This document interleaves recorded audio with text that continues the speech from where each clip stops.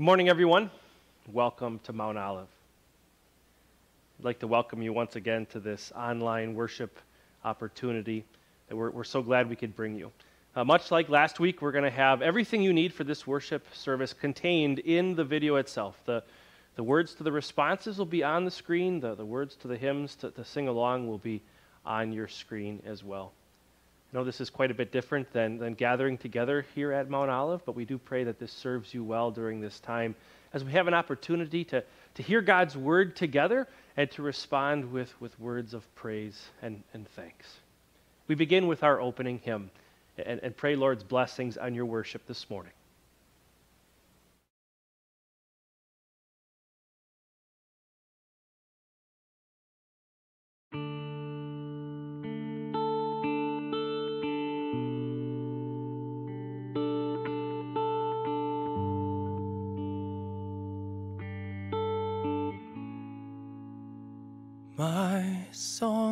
Love unknown.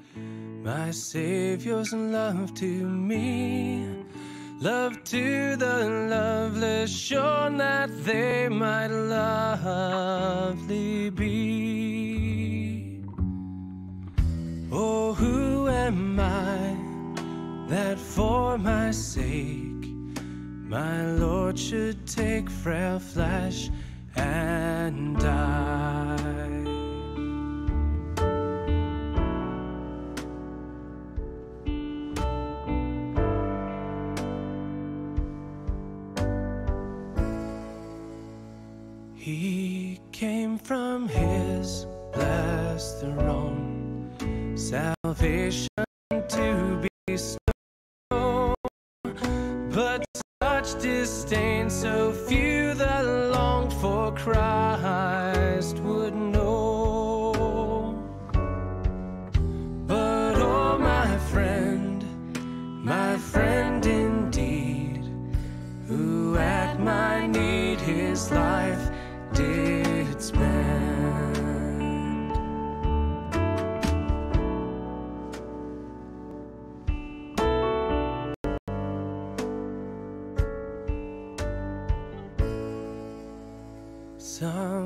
Sometimes they strew his way.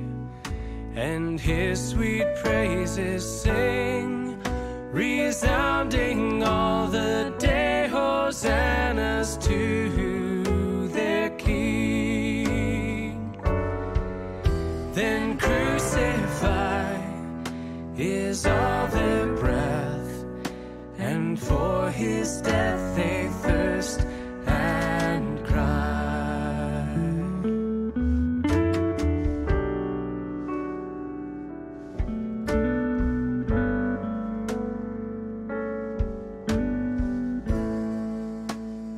Why? What has my Lord done? What makes this rage and spite? He made the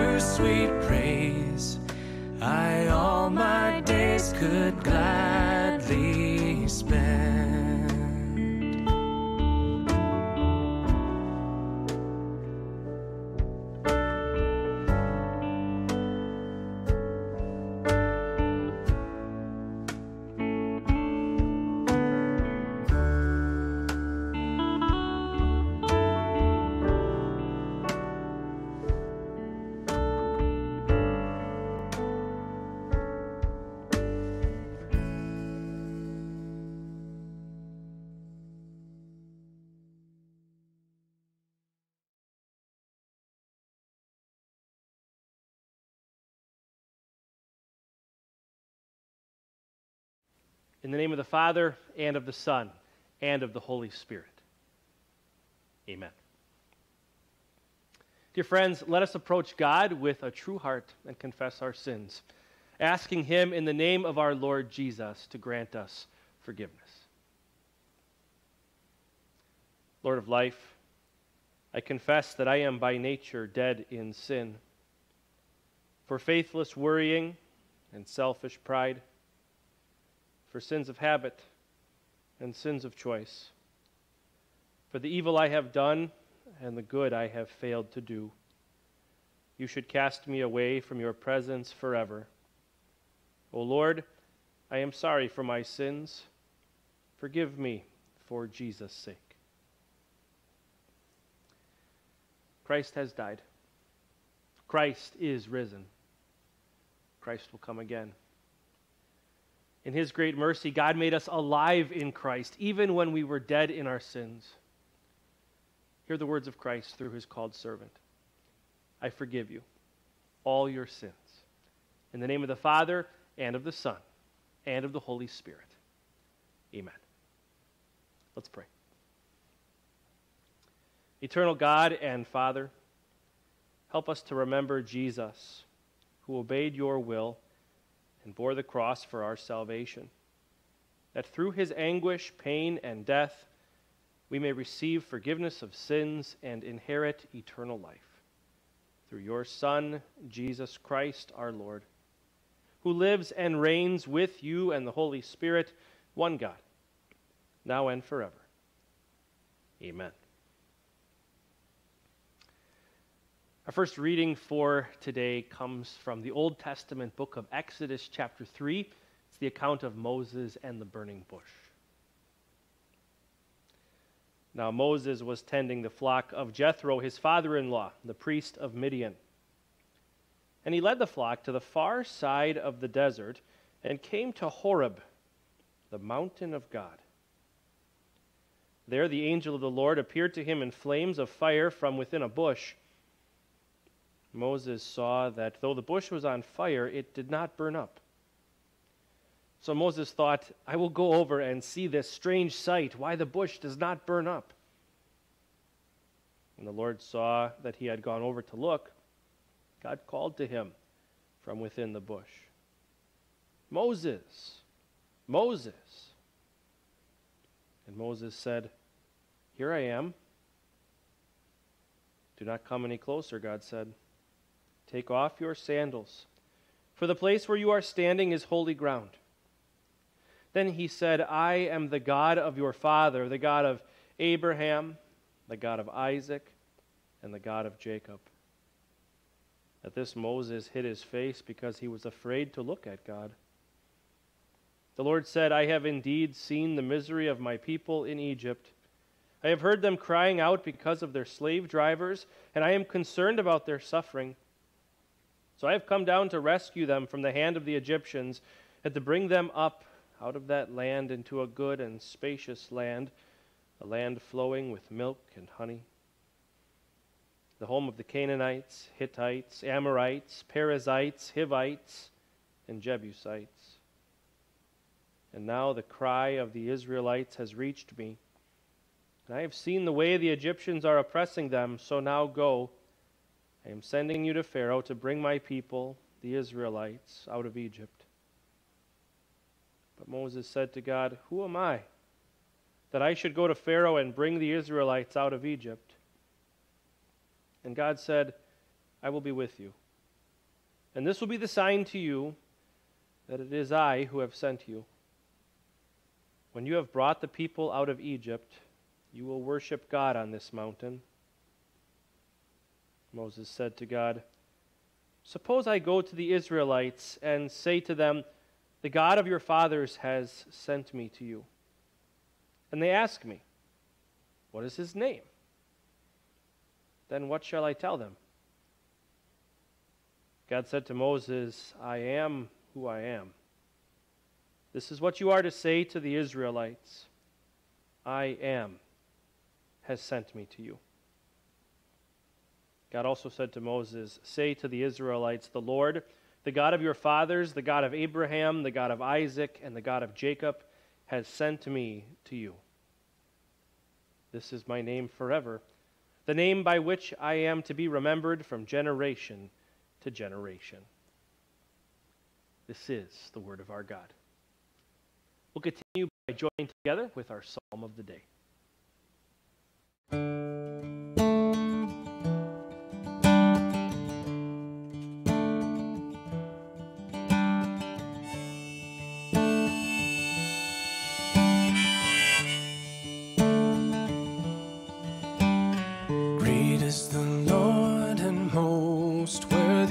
Of praise. His greatness no one can fathom. One generation will commend your works unto another.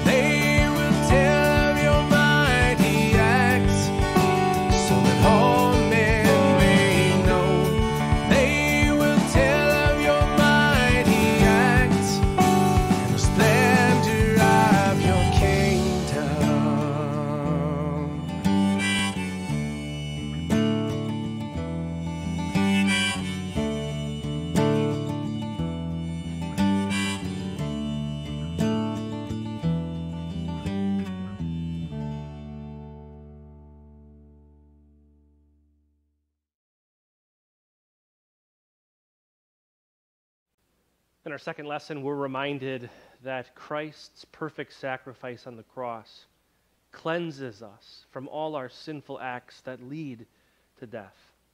Very comforting words, especially in light of our sermon text for today. Our second lesson comes from Hebrews chapter 9. When Christ came as high priest of the good things that are already here, he went through the greater and more perfect tabernacle that is not man made that is to say, not a part of this creation. He did not enter by means of the blood of goats and calves, but he entered the most holy place once for all by his own blood, having obtained eternal redemption. The blood of goats and bulls and the ashes of a heifer sprinkled on those who are ceremonially unclean sanctify them so that they are outwardly clean. How much more then will the blood of Christ, who through the eternal Spirit offered himself unblemished to God, cleanse our consciences from acts that lead to death, so that we may serve the living God? For this reason, Christ is the mediator of a new covenant, that those who are called may receive the promised eternal inheritance now that he has died as a ransom to set them free from the sins committed under the first covenant. This too is the word of our God. We'll join together in singing the hymn of the day.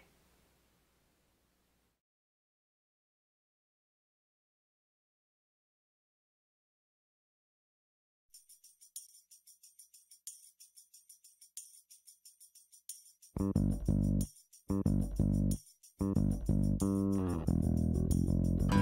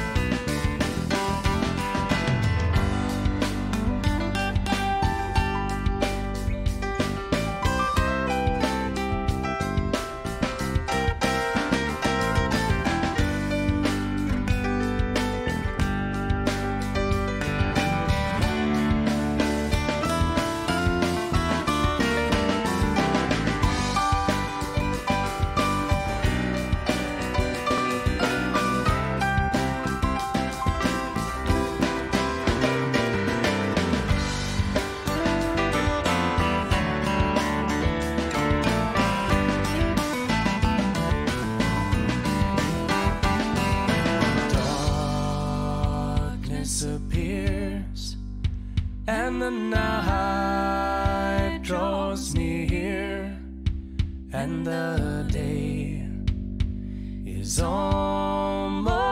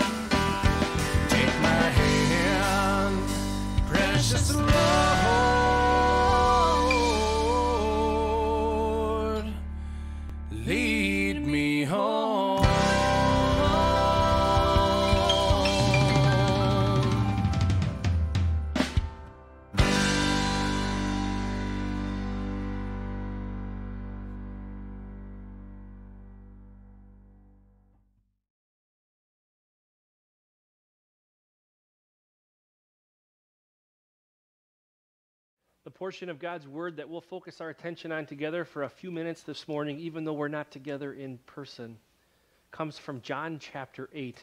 We'll begin at verse 46. Jesus says to his opponents, the Pharisees, Can any of you prove me guilty of sin? If I am telling the truth, why don't you believe me? He who belongs to God hears what God says. The reason you do not hear is that you do not belong to God. The Jews answered him, Aren't we right in saying that you are a Samaritan and demon possessed? I am not possessed by a demon, said Jesus. But I honor my Father, and you dishonor me. I am not seeking glory for myself, but there is one who seeks it, and he is the judge. I tell you the truth, if anyone keeps my word, he will never see death. At this, the Jews exclaimed, Now we know that you are demon possessed. Abraham died, and so did the prophets. Yet you say that if anyone keeps your word, he will never taste death. Are you greater than our father Abraham? He died, and so did the prophets. Who do you think you are? Jesus replied, If I glorify myself, my glory means nothing. My Father, whom you claim as your God, is the one who glorifies me. Though you do not know him, I know him. If I said I did not, I would be a liar like you. But I do know him and keep his word. Your father Abraham rejoiced at the thought of seeing my day. He saw it and was glad. You are not yet 50 years old, the Jews said to him, and you have seen Abraham? I tell you the truth, Jesus answered. Before Abraham was born, I am. At this, they picked up stones to stone him, but Jesus hid himself, slipping away from the temple grounds. This is the word of our God. Let's pray. May the words of my mouth and the meditations of our hearts be pleasing in your sight, O Lord, our rock and our redeemer. Amen.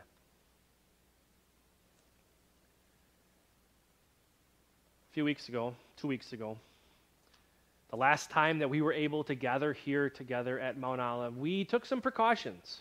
You might remember. Uh, the governor's ban on gatherings was not in place yet. We were still able to gather legally, but we still took some precautions out of love for our brothers and sisters who, who might be more susceptible to this virus. We, we made some changes. We had hand sanitizer all over the, the building. We wiped down the pews with disinfecting wipes before the service. We made changes like we didn't shake hands. We didn't pass the offering plates up and down the pews. We didn't pass the worship registers around. We even made some changes as to how we distribute the, the Lord's Supper. And with good reason. We, we did those things out of love for each other, out of love for our, our neighbor, not wanting to, to spread a, a disease that can be deadly. a lot of the changes that are being made in our society, the, the, the, the changes that the government is recommending or even commanding. We can look at these all and say these are all love for our neighbor. But there can be another reason that these changes are made. It is very possible that people would make these changes simply because they're afraid, simply because they're afraid of what they might lose. Afraid of losing something in this life, afraid of losing this life. It is possible that people would make these changes simply because they're afraid of death, and that's possible for you, and it's possible for me. Possible to, to be afraid of death itself. You know that many people in this world today are afraid. They're afraid of what they might lose. But you and I are different as Christians, we don't make the changes that we make. We don't obey the government simply because we're afraid of dying.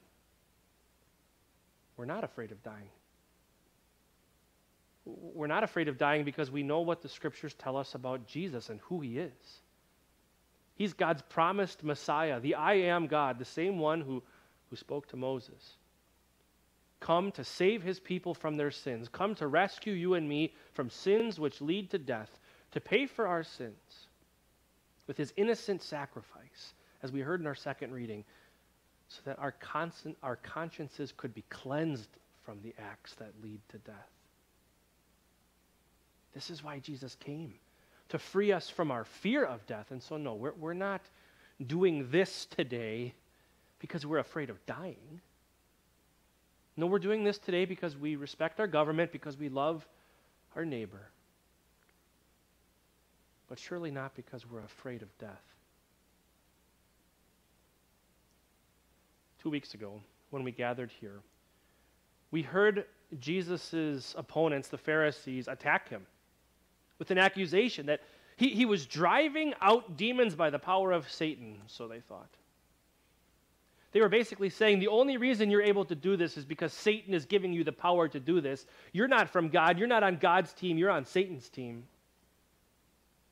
I'm not going to preach that whole sermon over to you again, but, but in short, Jesus forced them to consider that the reason they thought he was from Satan, the reason they hated him and wanted him dead, was actually because they were in Satan's kingdom. They thought they were in God's kingdom. They thought they were servants of the one true God, but in fact, they were servants of the devil. That they were following his lies. And now, a little while later, Jesus is again having a very similar conversation with these, these Pharisees. They're convinced that, that he is from Satan. Jesus begins by, by saying to them, Can any of you prove me guilty of sin? If I am telling the truth, why don't you believe me? He who belongs to God hears what God says. The reason you do not hear is that you do not belong to God. Think of how intense that attack is. Once again, just like we heard two weeks ago, Jesus is saying to the Pharisees, the problem here is not that I'm from Satan, it's that you're in his kingdom. If you belonged to God, you would hear God's word, you would listen to what God says. But the fact that you don't listen to God's word is proof that you don't belong to God. That is an incredible insult, especially for these men who thought of themselves as the spiritual fathers of the Israelite people, the ones who were tasked with the important responsibility of shepherding God's people through this life. Of course, they think that they belong to God. They're a part of the chosen nation, they're God's chosen people. And yet, Jesus right here says to them, The reason you do not hear is that you do not belong to God. And of course, that sets them off. Aren't we right in saying that you are a Samaritan and demon possessed? Jesus starts to defend himself. He begins by defending his own person. He says, I am not possessed by a demon. But, but he doesn't just keep defending himself over and over and over again. He, he next defends the source of his teaching. He says, but I honor my Father, and you dishonor me. I am not seeking glory for myself, but there is one who seeks it, and he is the judge. So the Pharisees attack Jesus. He defends himself, he defends the source of his teaching, but then finally, he, he stops defending himself. He stops defending even the source of his teaching, even his Father. He simply defends the Word. The Word of God that these Pharisees had, the Word of God that these Pharisees were supposed to be experts in. He simply defends the Word. I tell you the truth. If anyone keeps my word, he will never see death. And this is where the Pharisees think they've really got Jesus. Jesus is claiming that his word is God's word, and that if anyone keeps his word, they will never taste death. And the Pharisees say, Look at Abraham. Look at Isaac. Look at the prophets. They believed God's word. They all died, Jesus. What do you have to say about that? Now we know that you are demon possessed. Abraham died, and so did the prophets. Yet you say that if anyone keeps your word, he will never taste death. Are you greater than our father Abraham? He died, and so did the prophets. Who do you think you are? They're convinced they have Jesus trapped. Abraham died, the prophets died. You're wrong, Jesus. But by simply defending God's word, Jesus proves how wrong they were. I want you to open up again to, to Exodus chapter 3, 3. It was our, our first reading just a few minutes ago. Um, in that section of, of Moses and the burning bush, God introduces himself to Moses. In verse 6, he says to Moses, I am the God of your father, the God of Abraham, the God of Isaac, and the God of Jacob.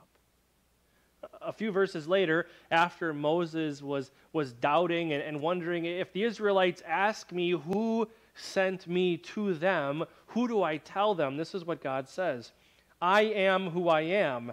This is what you are to say to the Israelites I am has sent me to you. Say to the Israelites, The Lord, the God of your fathers, the God of Abraham, the God of Isaac, and the God of Jacob, has sent me to you. This is my name forever, the name by which I am to be remembered from generation to generation. Think about that.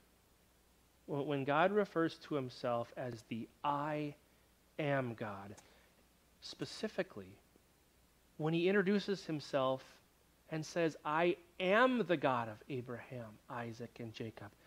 Abraham, Isaac, and Jacob had been dead for hundreds of years. They had been with God in heaven for centuries. God could have said, I was the God of Abraham. I was the God of Isaac. I was the God of Jacob. No, no, no. He says, I am right now. And, and so right away we know that when Jesus says, Anyone who keeps my word will never see death, he's not talking about physical death. Abraham did die. The, the Pharisees were right. His body stopped working. He believed God's word. Same thing with Isaac and Jacob. And, and if Jesus doesn't return first, you and I will die.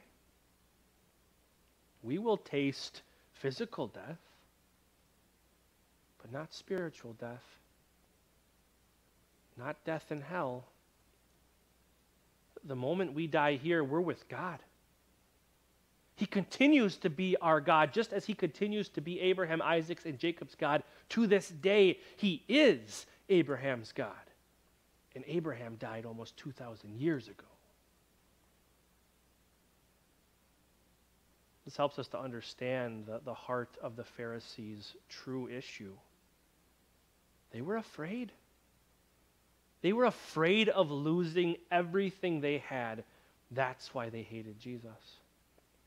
Jesus was a threat to their power, he was a threat to their role in Jewish society.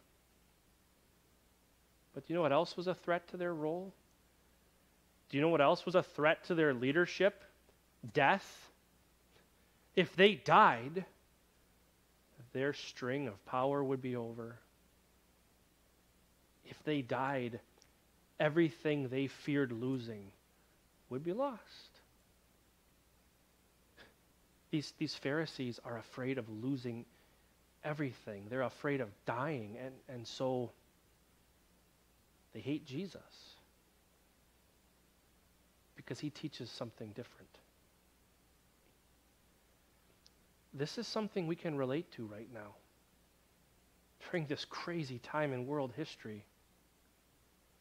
There's a lot of blessings in our lives.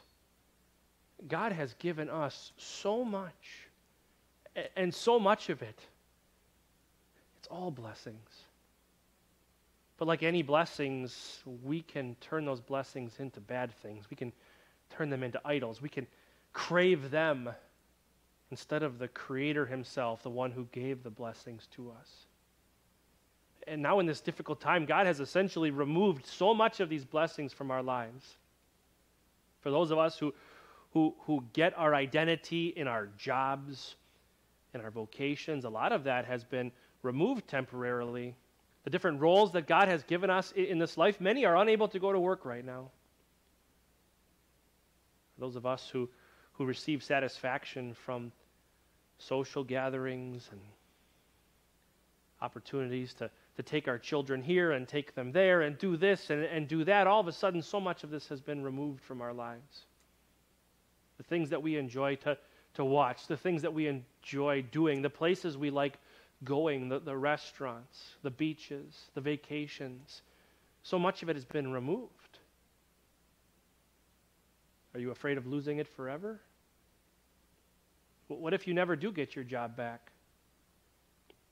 What if your kids miss that all important window to become superstars in sports? What if the world never gets back to the way it once was? Are you afraid of losing all that?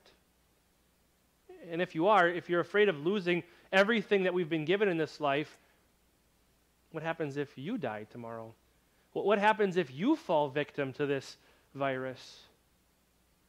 Are you afraid of, of dying? Are you afraid of everything in this life the way you used to know it? Are you afraid of it all disappearing forever? If you are, I have really good news for you. Your God says, don't be afraid. It's a message that is found in all of God's Word. It's a message that Abraham heard when God said to him, Do not be afraid, Abram, I am your shield, your very great reward. It's a message that Joshua heard as he was about to, to go into the promised land.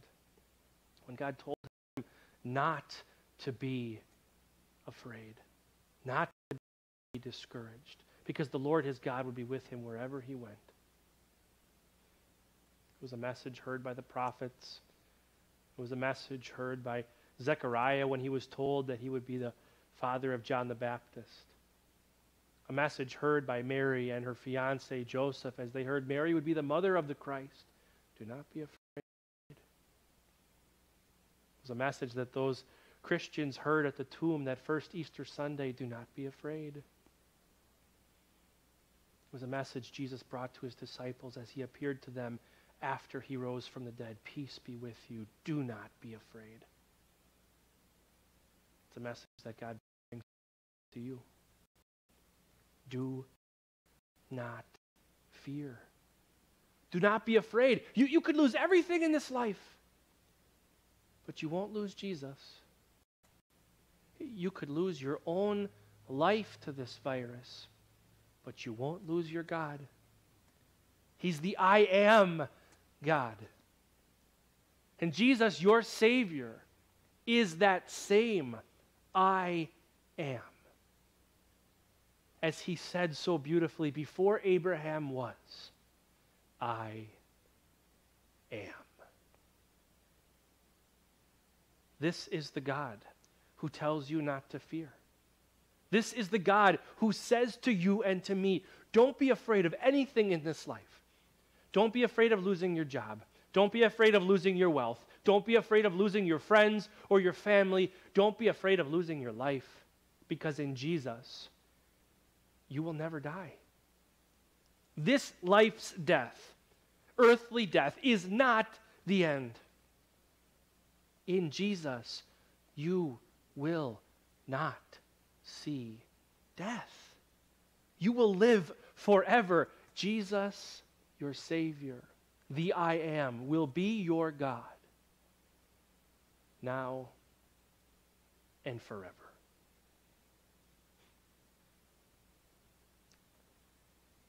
His sacrifice has cleansed your conscience from the acts that lead to eternal death in hell. His sacrifice on the cross means you are at peace with God forever. So do not be afraid. If we could go back in time a month, and we could tell ourselves one month ago that on Sunday, March 29th, we'd be doing this, we would have laughed. None of us saw this coming. And, and I don't know how long it's going to last. I don't know how long it'll be until we can gather again here together. I don't know how long it'll be before we can gather together up in the front of this church to receive the body and blood of our Lord and Savior Jesus Christ for the forgiveness of all of our sins. I don't know. I don't know how long it'll be un- until we can actually gather together again here. But this much I do know. Whether it's days or weeks or months, even if it's years, even if we never gather ag- together again in this building because one or many of us die, we don't need to be afraid. That much I know. And the reason I know that, the same reason you know that, is because we, we know God's word. We know what Jesus says, and his promise to us is clear. If anyone keeps my word, he will never see death. This whole word is God's promise to you and to me. So do not be afraid. Cling to the promises of the I am God.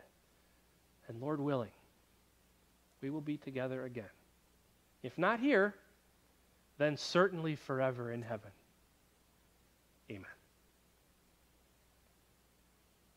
Let's join together in our common confession of, of faith. It should appear on your screen here shortly. Living in a world where people believe that the universe was formed through chance and accident, what do you believe? I believe in God the Father Almighty, maker of heaven and earth. And living in a world where people are confronted with the guilt and punishment of sin, what do you believe Jesus did for you? I believe in Jesus Christ, his only Son, our Lord, who was conceived by the Holy Spirit, born of the Virgin Mary, suffered under Pontius Pilate, was crucified, died, and was buried. He descended into hell. The third day he rose again from the dead. He ascended into heaven and is seated at the right hand of God the Father Almighty. From there he will come to judge the living and the dead. And living in a world where people are without hope and certainty, what do you believe? I believe in the Holy Spirit, the holy Christian church, the communion of saints, the forgiveness of sins, the resurrection of the body, and the life everlasting. Amen. We join together in the prayer of the church at this time. As always, we pray this, this prayer on behalf of this congregation in this corner of God's kingdom, as well as on behalf of our brothers and sisters in God's church throughout the world. We pray. Heavenly Father, you loved the world and gave your Son to liberate us from sin and death by his obedient death on the cross. We confess that without your love, we are lost. Lord of the church, we thank you for the treasure of the gospel. By your Spirit, keep our eyes fixed on Jesus, the author and perfecter of our faith. Strengthen our determination to do what pleases you, no matter what the danger or the cost. Let us pray for those who carry a cross in the name of Christ and face ridicule and persecution for the sake of the kingdom. Missionaries and chaplains, young people who stand up for what is right in the face of pressure to do what is wrong, and all who pay a high price for their faith and their values as Christians. By your Spirit, O Lord, grant them patience and endurance. Let us pray for those who carry heavy burdens in life the sick and the chronically ill, the depressed and the lonely, those torn by conflict in personal relationships, those victimized by war and injustice, and all who face the terrors of life with a heavy heart. Grant them peace, O Lord, and in your mercy be their guardian and friend, their comfort and hope. Let us pray for those who care for others pastors and counselors, physicians and nurses, social workers and caring friends, all who feed the hungry, comfort the hurting, and stand beside the dying. Strengthen them in their work, O Lord, and do not let them become weary in doing good. Heavenly Father, great physician, we come before you today on behalf of all those who are sick and suffering from this disease and any other. We ask that if it be your will, you would bring healing in our nation and around the world, that you would lead doctors and, and scientists to find solutions to better treat those who are sick, that their time in the hospital may be short, that they may make room for anyone else who, who needs medical care. If it be your will, we, we pray that you would lead our, our nation and guide those making important decisions, that you would bless us in whatever way you see fit. And through this all, Lord, we ask that you would keep our eyes focused on Christ. Help us to remember that He is all we need. Help us to, to cling to your word and the promises therein, that we would be confident that no matter what happens in this life, this death is not the end. In Christ, we will live with you forever. And hear us, Lord, as we bring you our private petitions.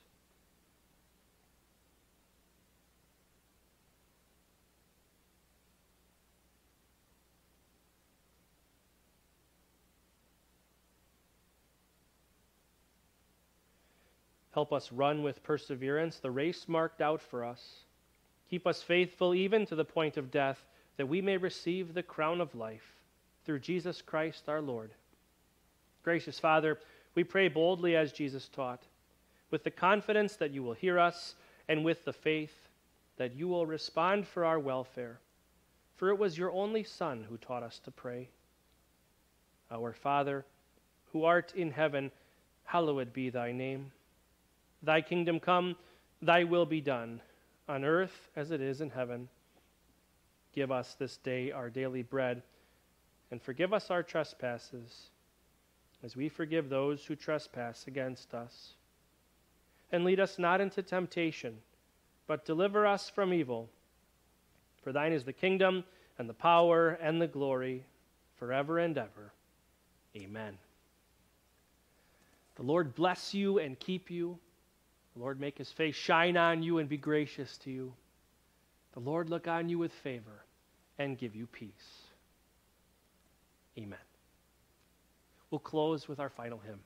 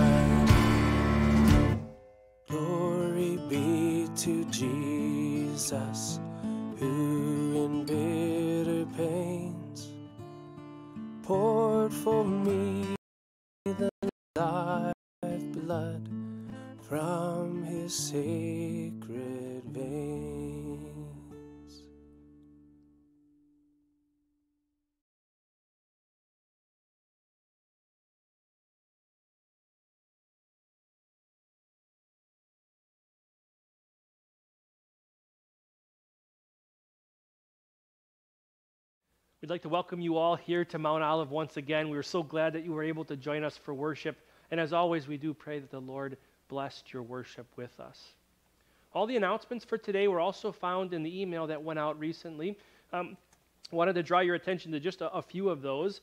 First off, there, there were uh, resources for Sunday school that were emailed out for those of you with children um, so that hopefully you can continue to, to do some Sunday school lessons with your kids at, at home.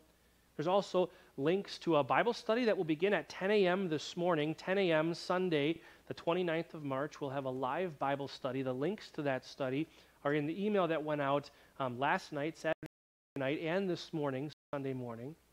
If you have any problems with that whatsoever, please do call me on my on my cell phone. I'll be happy to help you get that set up. Um, that'll begin at 9 a.m. today. Um, also, our new website is is live on MountOliveSuamico.com. That's MtOliveSuamico.com. Uh, the, the website was kind of rushed here at the last minute. We were working on this and, and hoping to roll it out before Easter, but we did try to get it out early so that we can have updated, accurate information. I um, encourage you to check out the resources tab um, at the top right of your screen. You'll find our, our worship services um, both in video and audio format. If you listen to podcasts on your phone, um, you'll be able to listen to these sermons um, week after week as you go about your life. Maybe listen to it again or, or catch a sermon if you missed it. There's all sorts of other awesome um, resources at the bottom of the email that went out this week links to Time of Grace, um, links to the Gospel of John video that was sent out, where it's the NIV text of the Gospel of John set to a, a beautiful biblical narrative where you can see the events happening in front of you. Um, so much more. We'll, continue to be reaching out to you all in the days and weeks to come. As always, if there's anything that we could do to serve you here at Mount Olive during this difficult time, um, be it with prayers or financial needs or anything else at all that you could possibly need, please do reach out and, and let me know. Uh, my contact information is readily available on the website as well as in the, the emails. Our prayers are with you, my brothers and sisters. You're in my prayers, and I know the prayers of our leaders here at Mount Olive. Lord's blessings to you all the rest of this week.